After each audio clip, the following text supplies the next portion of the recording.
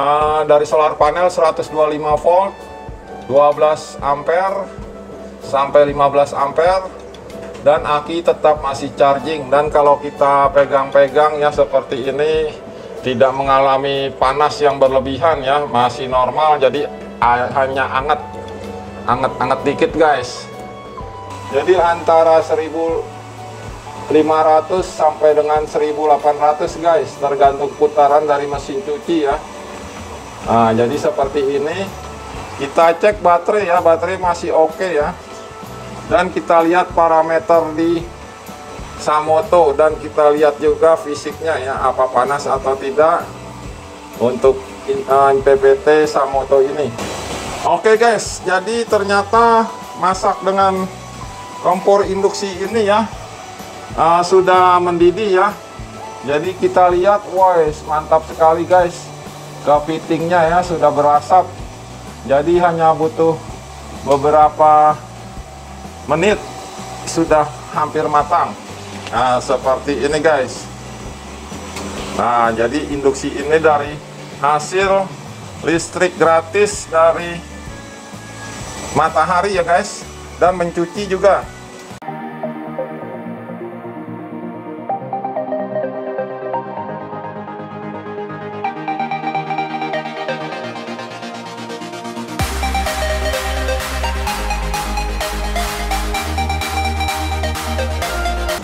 Assalamualaikum warahmatullahi wabarakatuh. Jumpa lagi di channel Hari PLTS Salam sejahtera dan sehat selalu untuk teman-teman semua. Ya jadi hari ini ya kita akan sharing atau berbagi Yaitu seputaran PLTS Yang utamanya MPPT Ya jadi MPPT Samoto ini ya Sudah kita pasang selama satu minggu Nah, jadi kita akan lihat Samoto ini performanya sampai di mana. Kita akan tes juga uji beban dari inverter dan dia mendapatkan output dari solar panel. Juga kita akan lihat apa saja display di dalam Samoto ini. Jadi kebutuhan untuk parameter baterai dan lain-lainnya yang ada di display tersebut. Ya langsung kita lihat performan Samoto ini. Guys jadi sebelum kita melihat performan daripada MPPT Samoto ini kita akan juga uji beban ya. Jadi seperti mesin cuci ini kita tes pompa air dan kompor induksi listrik. Jadi seberapa tahan atau bagus ya Samoto ini kita akan lihat. Jadi seperti itu guys. Oke guys. Jadi sebelum kita langsung uji beban ya dengan terutama uh, inverter dan yang berkaitan dengan MPPT Samoto juga.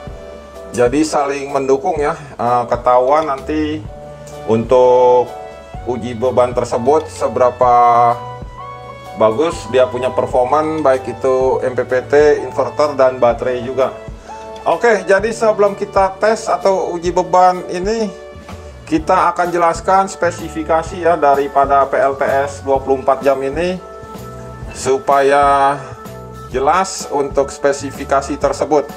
Ya, jadi kita memakai ya baterai uh, pack 48 volt dengan sistem 48 volt. Dan FRLA nya juga satu deret 4 piece 48 volt. Ada dua ya dua tumpuk. Berarti ada tiga di luar sini. Dan di dalam ada lagi tiga baterai pack. Jadi semua ada 6 baterai. Dengan satu baterai 100 ampere hour berarti 48 dikali 100 ampere hour menjadi 4800 ampere hour tinggal kita kali 6 menjadi 8200 kWh nah, jadi kita pakai inverter juga yang rakitan yaitu inverter 20 MOSFET dengan kapasitas 5 kW atau 5000 watt dan ada panel untuk kontrol yaitu MCB MCB Nah, ini uh, yang kita akan lihat performa dari Samoto pas lagi uji beban nanti. Jadi Samoto 100 ampere dia sudah kita pasang selama seminggu. Ternyata tidak ada problem dan di bodinya juga kalau kita pegang ya guys, ini hanya hangat-hangat saja ya. Tidak ada panas overhead atau over yang bisa menjadi error. Jadi angetnya anget masih normal. Jadi seperti itu guys.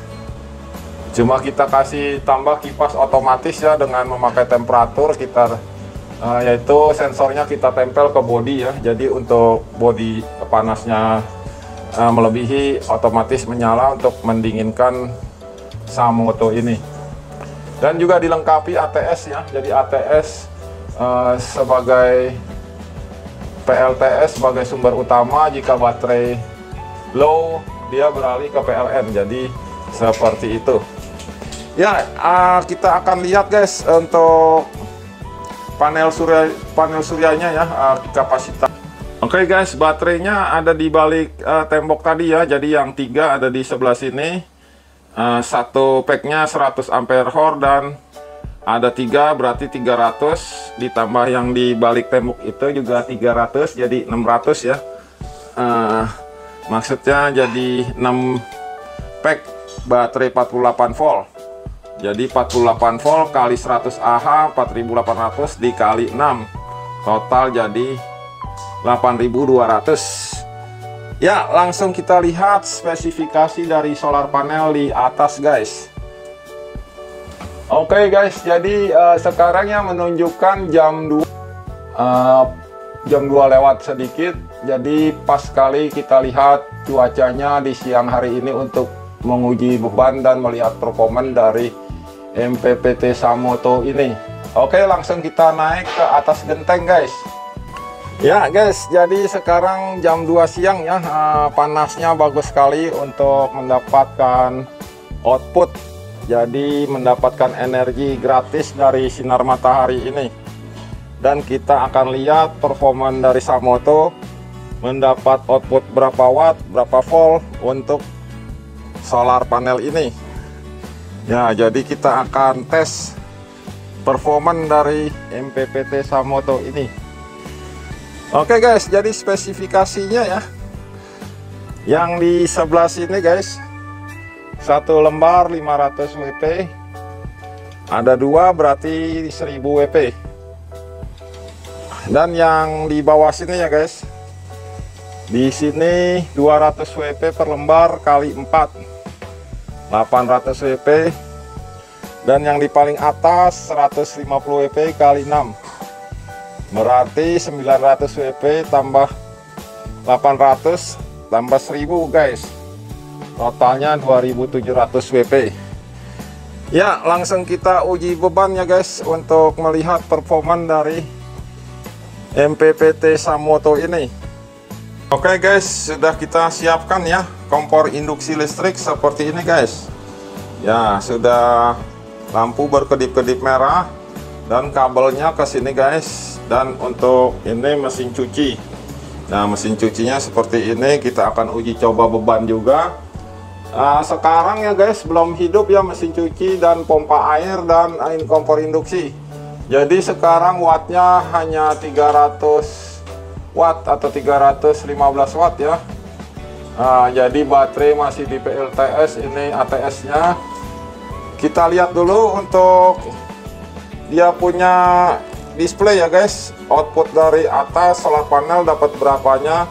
Kita akan lihat hasilnya.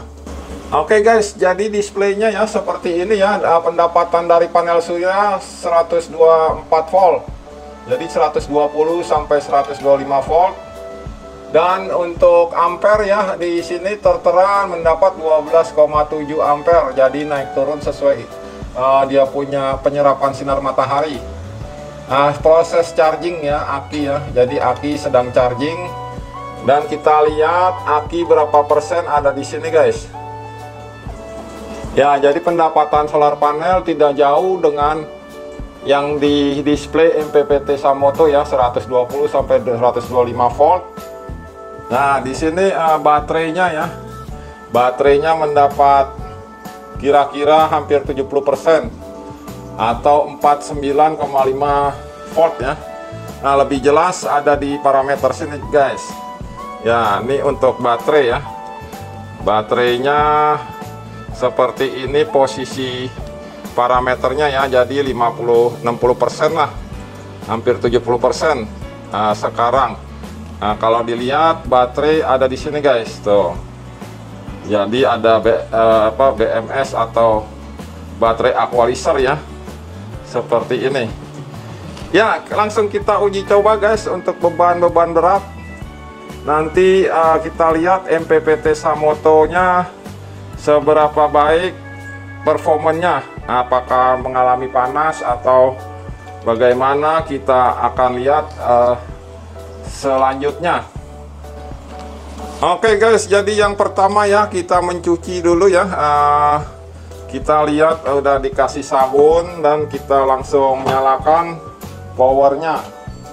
Dan kita langsung proses uh, untuk startnya ya sekarang sudah uh, hidup mesin cucinya. Dan yang kedua kita akan memasak dengan kompor induksi seperti ini guys.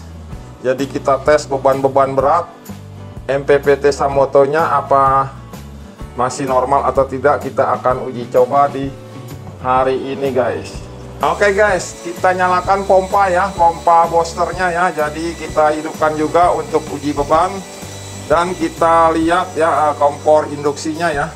Nah mesin cuci sudah hidup. Sekarang kita menyalakan kompor induksi guys. Nah jadi kita on kita on lagi. Nah sekarang 800 watt nih guys. Untuk kompor induksi sendiri kita masak kepiting guys ya. Jadi sebentar lagi dia matang karena induksi sangat cepat sekali langsung kita lihat beban guys. Nah di sini bebannya guys. 1600 ya. 1700 ya. Jadi antara 1500 sampai dengan 1800 guys. Tergantung putaran dari mesin cuci ya. Nah jadi seperti ini. Kita cek baterai ya. Baterai masih oke okay ya. Dan kita lihat parameter di Samoto dan kita lihat juga fisiknya ya apa panas atau tidak untuk PPT Samoto ini. Oke guys jadi ternyata masak dengan kompor induksi ini ya uh, sudah mendidih ya. Jadi kita lihat wah mantap sekali guys. Kepitingnya ya sudah berasap. Jadi hanya butuh beberapa menit sudah hampir matang nah seperti ini guys. Nah jadi induksi ini dari hasil listrik gratis dari matahari ya guys. Dan mencuci juga. Oke kita cek lagi parameter untuk Samoto ini ya. Apakah Samoto mendapat kendala atau tidak performan tersebut? Kita lihat wattmeter guys. Nah sekarang ya mencapai masih sama ya 1600 sampai 1800 guys. Jadi seperti itu. Nah, kira-kira seperti ini guys uh, wattmeternya ya. Dan kita lihat parameter di Samoto apakah problem atau tidak. Ya guys jadi untuk display di Samoto ya tetap stabil ya. Dia mendapat uh, dari solar panel 125 volt 12 ampere sampai 15 ampere dan aki tetap masih charging. Dan kalau kita pegang-pegang ya seperti ini tidak mengalami panas yang berlebihan ya masih normal. Jadi hanya anget anget-anget dikit guys. Jadi seperti itu ya performance Samoto uh, luar biasa. Uh, lumayan cakep. Jadi seperti ini untuk uji coba beban dengan inverter 5 kW dan uh, MPPT 100 ampere Samoto dan mesin cuci juga masih menggiling-giling pakaian ya guys. Jadi uh, masih stabil semua. Di baterai juga masih oke okay ya guys. Jadi proses memasak masih berjalan juga. Oke kita tunggu sebentar lagi matang guys. Ya guys. Jadi uh, ternyata masakan kepitingnya sudah matang ya uh, kita lihat lagi seperti ini guys luar biasa mantap banget dia sudah bergelembung-gelembung mendidih Oke guys, jadi uh, sharing atau berbaginya ya seputaran PLTS dengan performance uh, Samoto MPPT 100 ampere sampai di sini. Semoga bermanfaat untuk teman-teman semua. Wassalamualaikum warahmatullahi wabarakatuh.